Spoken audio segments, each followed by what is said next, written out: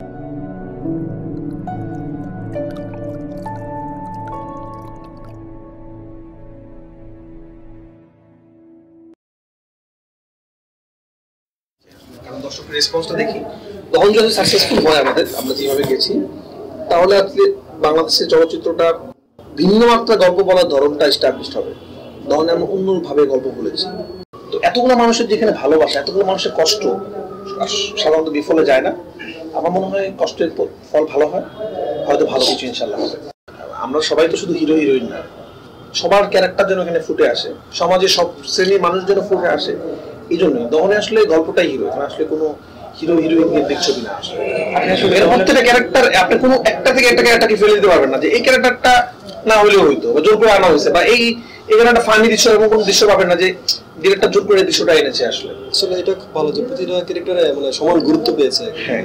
এটাই। আপনাদেরকে বলব আপনার পোড়ামন টু দেখেছেন আপনাদের ফ্যামিলি নিয়ে বাচ্চাকে নিয়ে।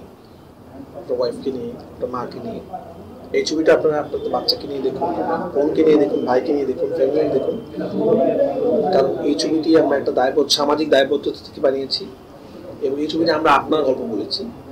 আপনার মনের যে গল্প, আপনার মনের যে কথা, এই কথাগুলো আপনার শিশু, আপনার বাচ্চা জানা দরকার। কারণ সামনের দিনের যে দেশ আপনার বাচ্চাই চালাবে, আপনার সন্তানরাই চালাবে। তাদের জানা উচিত কোনটা ভালো, কোনটা খারাপ। কোন রাজনীতি ভালো, কোন রাজনীতি খারাপ? কীভাবে, কোনোভাবে যেন কারও ছলে বলে কৌশলে আমরা খারাপ হয়, খারাপ না হয়ে যাই। আমরা এতটুকু বলতে পারি, ছবিটার মধ্যে আপনারা নিজেদেরকে খুঁজে পাবেন, নিজেদের গল্পকে খুঁজে পাবেন এবং একটু অন্য ধরনের প্রেম দেখতে পাবেন। আমরা তো অনেক রকম প্রেম দেখেছি অনেক রকম খুনসুটি দেখেছি। সিএম পূজার এমন একটা কেমিস্ট্রি আপনারা দেখতে পাবেন এই ছবিতে, যেটা আপনারা বাংলা ছবিতে এরকম এরকম প্রেম হয়েছে কিনা আমি জানি না। আসলে আমরা অদ্ভুত একটা কেমিস্ট্রি দিয়েছি ওদেরকে। তো আশা করি এটা আপনাদেরকে এনজয় করবে। কারণ আমাদের সাধারণত প্রেম বলতেই জড়িয়ে ধরা বা একটু ডায়লগ তোমার চোখটা অনেক সুন্দর তোমার তুমি সুন্দর অনেক তোমার তোমার এই কানে দুল দিয়ে দিই।